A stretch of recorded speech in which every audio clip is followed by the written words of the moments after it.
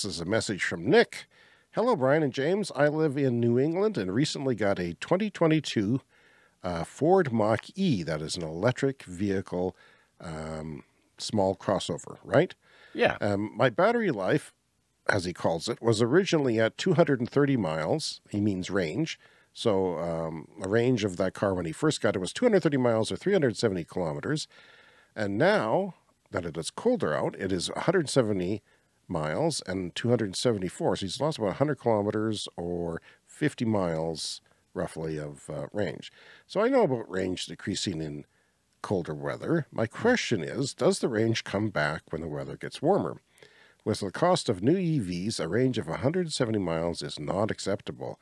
Fan of the show since day one. Thanks. Wow. Yeah, thanks, Nick. That's uh, how many episodes? 140. Congratulations. Yeah. Nick, thank you for sticking with us. I don't see how you put up with Brian for that long, but uh, whatever. Whatever. Um, so yeah, I would be bold enough to say that I think James, you and I are the two uh, leading experts in the world on uh, yes. E EVs in cold weather. We're the yes, experts. you've come to the right place, Nick. because Alaska has nothing on us. We're in No. the southern Canadian prairies where it gets to minus 40, and it has recently. Not this Yes. year, but you know, it has. And minus 40 Celsius is the same as minus 40 Fahrenheit. That's where the two scales meet. it- Crossover, yeah. it does get that cold here. So I don't know everything about how the Mach E, um, you know, battery meter works, but yeah, usually the the range on any car is calculated on your recent trips. So if your recent trips have been in the cold, then your car is going to be smart enough to figure, okay, well, the next trip is going to be. So I, I assume that range will come back in the summer. What do you think? Of course it will. Yeah. But in, in a way, Brian, this is a stupid question for us. Oh, to sorry, us, Nick. To people like us. But that, that concerns me that the people buying EVs really, that there are things that, that you know, this would be scary to somebody. Oh yeah. And, uh, Nick's obviously an EV enthusiast, but a regular person who doesn't care, who just goes out and buys their next car, Yeah. might be very concerned about this if they don't know about it. That's right. You're going to look at the the range thing. Now, the one thing I can recommend is um, I don't know if you can do this in in your car, but in a Tesla, you can change the battery to percentage rather than miles or kilometers. So Yeah. When you when I first bought my car, yeah, it would give me the range in kilometers and started around 400 kilometers.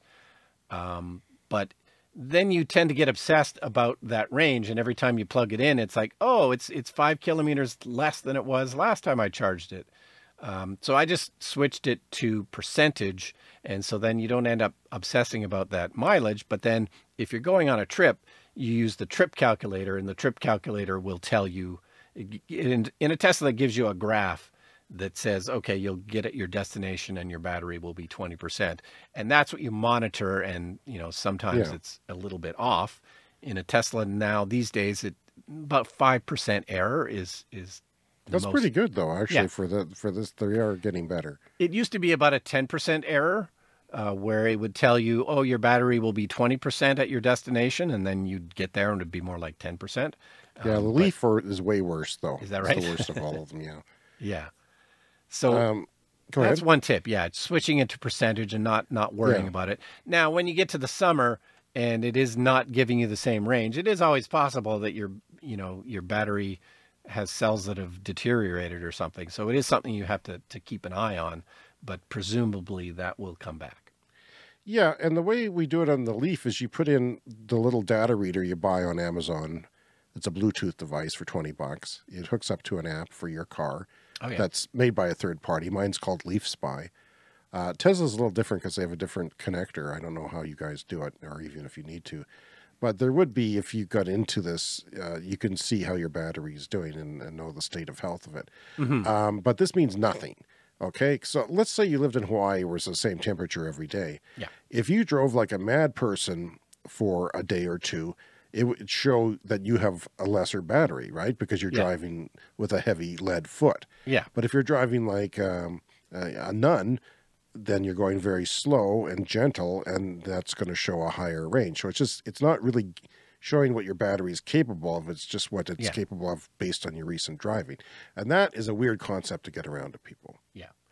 Um, and also, I'll mention too, it is typical for batteries to lose range, like battery degradation. And the typical formula seems to be you are going to lose about 5%, about 5% of your battery in the first couple of years. Mm-hmm. And then it kind of levels Slows out. down. So I assume my battery has lost about 5% of its capacity, but I, I don't know exactly how I would confirm that. Yeah, and it's it's not something you should obsess about. You should know that when you buy the EV that that's why I always say buy bigger than you think you need. And yeah. um, then you don't worry about that. Mm-hmm. Right. And it's always a, a good thing. But there's lots we can talk about here very quickly. Okay. Now, the first thing is that in winter, uh, a gas car loses range. You just don't notice it. You're not thinking about that, right? Yeah. There's many factors. There is the dense winter air, so your aerodynamics are off. This affects EVs a little bit more because they're more efficient and they're also usually more um, dependent on the aerodynamics of the vehicle for efficiency. So, and then you have uh, sort of, if you put winter tires on, that's going to be less efficient for sure. That could lose you 10%. It could lose you even more depending on your winter tires. Um, there's the snow on the ground or ice on the ground, the, the fact that it's just not uh, a smooth rolling surface. That's going to, um, you know, is it's like if you're pedaling a bike on through snow, it's going to be harder to pedal that bike. So, right? Mm-hmm. Uh, there's different factors like that. Um, it can't hold as much of a charge, the battery, in colder weather. And don't forget that you're using your battery to heat your cabin. Mm-hmm. Um, that is a lot of heat, even if it's a heat pump, even if it's just a, you know, not that cold, but a little bit cold, you're still using a lot of energy. In fact, in uh, it's different in every car. Your car is a PTC heater, mine is as too. So it's just like a toaster. It's like yeah. red hot elements heating up. That's the least efficient. And then the heat pumps, sometimes there's both a heat pump and a PTC heater. Sometimes there's just a heat pump. And, you know, that uses less energy, but uh, it still uses energy, Brian. Yeah. No, and I checked, and the Mustang Mach E does not have a heat pump heater, so it has a, a normal. Oh, really? Heater, which is yeah not as as energy efficient. So you know definitely going to lose range with that. Yeah, you're definitely definitely going to use range, and you, my like unless you're using it to make these long trips on the highway, then that's when the only time you really need to concern yourself, unless you have a long commute.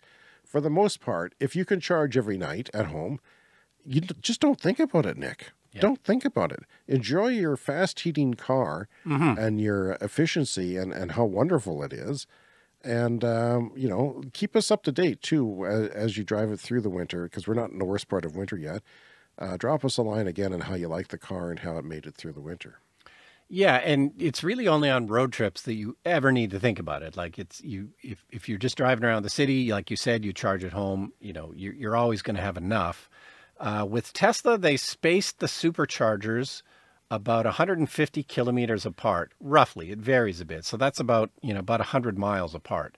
So um, if you're going to go, Nick, on a road trip, you know you want to make sure that there is a charging station roughly every 100 miles and you know you should be fine like around here when it does get minus 40 i don't think it's going to get to minus 40 where nick is so he's probably not going to have to worry about it but they they spaced them about right. So mine, I've got the standard range Tesla Model 3, and it can just barely make it between chargers when it's minus 40.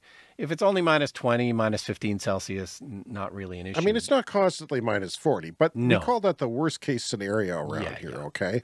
EV drivers call that we have to be you want to be prepared for the worst case scenario. We've gone years without it getting that cold. Yeah. And then the last couple of years it's gone a few days that cold, so you want to be prepared for those days. And it's usually only that cold overnight. But last right. winter, and this was covered on the podcast, I drove up to Saskatoon, and the daytime temperatures was minus 36 Celsius, which is about minus 32 Fahrenheit. Daytime temperatures. This was at noon, and that's what I had to drive through, and uh, you know, just just kind of barely made it in my standard range car. Yeah, so that's an issue. And another thing to keep in mind is if you are doing highway trips, that in winter it charges slower. Yeah. The battery can't take the charge as fast because it's it's like regenerative braking too. You can't put yeah. Your brakes back into the battery pack as well Yeah. when it's cold. No, that's kind of the biggest thing for me because summer road trips where I'm only spending about 20 minutes at the charger, but the winter road trips in these these cold conditions, it's more like you're spending an hour at the charger. And at that point it it gets annoying and I'm at the point now where if this winter I have to drive up to Saskatoon and it's minus 40, I'm I'm going to take a gas car because I just I just don't want that uh, have to wait an hour at the charging stations. Yeah, and if uh, you know, it's the worst case scenario in the worst place in the world is what we're talking about. Yeah, yeah. And we tell people around here that it, you could lose up to 50%. It, it varies from car to car, okay? I've heard somebody talking about 17% uh, in his Ioniq 5 uh, when it wasn't too cold, okay? So, but that's like the worst, worst case scenario. Now, if you're driving around the city and you do, you know, 60 miles in a day at the very worst and you have, you know, 170 miles, who cares? You plug in at Yeah. night, it's going to charge the same way as it always does. If you're on the highway and it takes you a half hour to charge, it might take you an hour to charge. And that's a major change too Yeah. in habits to be Yeah. aware of. And of course, electric cars, they're not as efficient on the highway as they are in the city. Higher speeds are tougher for electric cars. You, you drain the battery a lot faster. And I really wish that when they publicized the range for electric cars, that they did a highway figure and a city figure. I think that's the way it should be done, but they don't do that. They pick a number kind of somewhere in between the two. Yeah, but you know, you'll get used to this, Nick. There's a lot of weird little things that people fret about when they try something new. I did it, Brian did it. It's normal. Uh, we EV owners tend to think too much, but uh, just enjoy the car. Um, you'll get used to it and uh, tell your friends about it.